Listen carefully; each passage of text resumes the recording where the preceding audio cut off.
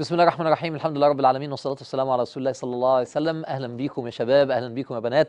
يعني بسجل لكم كلمة خاصة ليكم جدا يا صناع الحياة. عايزها هتنزل على عمرو خالد دوت نت بس أنا عايزها توصل لكل واحد من صناع الحياة. آه كلمة فيها حاجات كتير. أول حاجة كل سنة وأنتم طيبين. آه خلاص فاضل على رمضان أيام قليلة. واخدين كده نية واخدين همة واخدين عزيمة. أنا يمكن من سنة 2002 من ساعة ما سبت مصر دي أكتر سنة نازل مشمر ونازل مشمر إن شاء الله عبادة ودعوة يا رب يفتح علينا بس. فأنتوا كمان بقى واخدين همة كده واخدين طاقة واخدين نية عالية انووا بقى.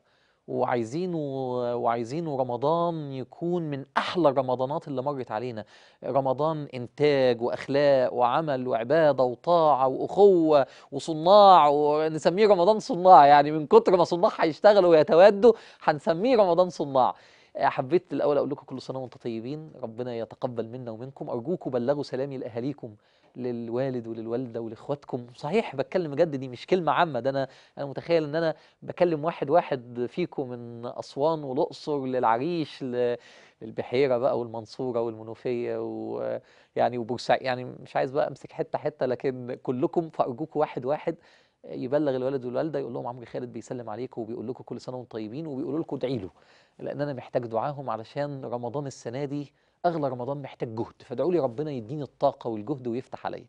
آه، عايز أقول لكم شوية أخبار ليا بسرعة وبعدين أقول لكم أنا نفسي منكم في إيه. أول حاجة أنا هكون موجود في مسجد الحصري زي زمان أنا والشيخ شعبان لو اللي فاكر فيكم. نفسي تصلوا معايا واللي يقدر منكم حتى يجي ولو ليلة أو في الأجازات أنا هكون ال 30 يوم بنصلي التراويح بجزء هنختم في الحصري في 6 أكتوبر وبينهم هيبقى لي الدرس بتاعي خاطرة إيمانية. وندعي ويعني هيبقى إن شاء الله كده تراويح جميلة.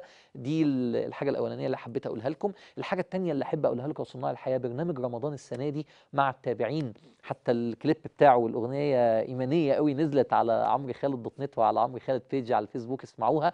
آه ال- الكليب دون أو ال- اسف البرنامج دون مع التابعين آه غالي عليا قوي لأن 30 شخصية شبهنا.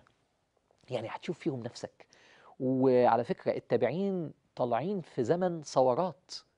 يعني طلعوا في زمن ثورات ثلاث أربع ثورات وبالتالي هتشوف نموذج اتصرف إزاي في الثورات بإيمان ومع ذلك دول اللي أسسوا حضارة الإسلام.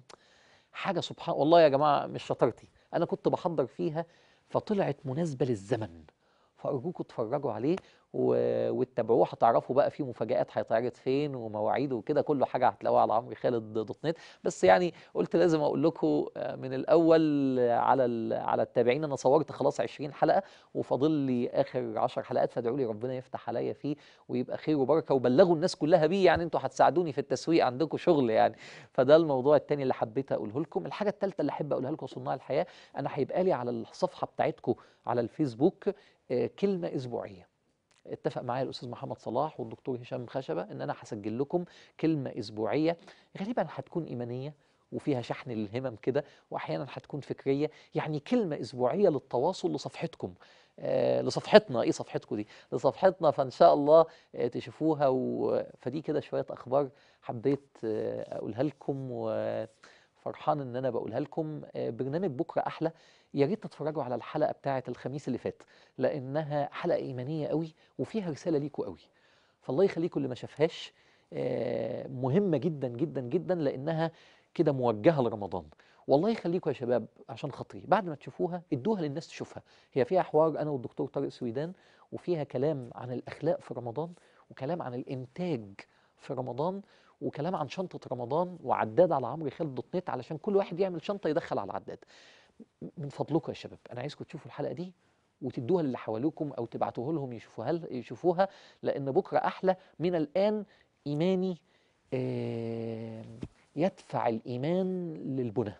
وليس سياسي أو وليس حواري لأن أنا لا أنا حزبي ولا أنا سياسي ولا هكون حزبي ولا سياسي لكن أنا رسالتي إصلاحية إيمانية فالله يخليكم بكرة أحلى هيخدم الرسالة دي. قلت لكم حاجات كتيرة كده وكلام آه، كلام جوه كلام وحاجات حلوة قوي لكن فاضل آخر حاجة فكرة صناع الحياة. صناع الحياة فكرة راقية وغالية وصحيحة. فكرة التنمية بالإيمان. قلناها 2003 و2004 لكن النهارده معادها أكتر. البلد دي لا العالم العربي ده أنا مش بكلم صناع الحياة صحيح بكلم صناع الحياة مصر لكن بكلم صناع الحياة في كل مكان أيضا. مش هيتبني إلا بالإيمان. بس إيمان يبني مش إيمان آه، يروح مخدر ولا إيمان يروح تطرف ولا إيمان يروح سياسي وفول ستوب. إيمان للبنى إيمان للتنمية. وده تميز فكرتنا. بس هقول لكم حاجة بمنتهى الوضوح الفكرة صحيحة 100% ومشروعاتنا رائعة. المنتجات الصحية رائعة والصحة أحد أسباب النهضة. حماة المستقبل فكرة إحنا الرواد فيها وإحنا الأساتذة فيها. آه، مشروع آه، إنسان والتنمية وإن الناس ما تعت- تعتمد على نفسها وربطها بالتعليم. محو الأمية وهو مشروع واعد وبقينا إحنا المسؤولين عنه. أنا عايز أقول حاجة. لازم ثقتكم في نفسكم تكون إن أنتوا كبار. خلي بالكم الزمن اللي فات كنا متداريين فيه وخايفين. الزمن ده انتهى. اوعى تكون لسه عايش ما بعد الثورة بعقلية ما قبل الثورة الان وشايف نفسي صغير. انت مش صغير. انت كبير بفكرتك. انت كبير بالإيمان. لأن بمنتهى الصراحة إذا كنا بنتحايل على كلمة الإيمان في الماضي لظروف غصب عننا والقيم الأصيلة اللي كانت مزعلاكوا في رواد ال- جمعية رواد النهضة فمستخدمين. هنعمل إيه؟ كانت كان الزمن صعب. حلقة بكرة أحلى اللي فاتت اللي أنا بقول لكم اتفرجوا عليها أنا بقول بقى مش مش ليكوا بقول في التلفزيون المصري الإيمان هو الحل الوحيد عاصم فارجوك يا شباب أنتوا اصحاب الفكرة. الفكرة صحيحة مشروعات رائعة. عايز منكم ثلاث حاجات. أول حاجة الثقة في النفس. أنت كبير ولازم تشوف نفسك كده. يعني إيه؟ تطرق باب المحافظ وتطرق باب الوزير. وإحنا صح... إحنا اللي عملنا مشروع حماة المستقبل. إحنا اللي عملنا ده. ثقة في النفس. ده أول حاجة مطلوبة. تاني حاجة أنا بطلبها منكم و... و... و... وبشدة الإيمان. الإيمان ورمضان جاي. تالت حاجة بطلبها منكم آه وبشدة الفترة الجاية كله هيشتغل الأنشطة اللي أنتوا كنتوا شغالينها زمان. لأن كله عايز يقول لك الحق اعمل حاجة. أنتوا كنتوا السابقين فخليكوا السابقين السابقين. ما ترجعوش خطوة لورا وتناموا فغيركم مع احترامنا للجميع. ياخد مكانكم وانتوا تعبتوا في الشغل التنموي لما حد ما لما ما كانش في حد بيشتغل تنموي. يعني حتى حرام دنيا وحرام آخرة. اشتغلوا يا شباب.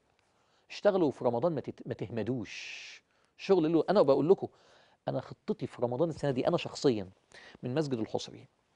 لدروس خاصة لاعتكاف لتهجد العشرة الأواخر لختمات قرآن للمسجد اللي جنبي يأدي فيه كلمة ل...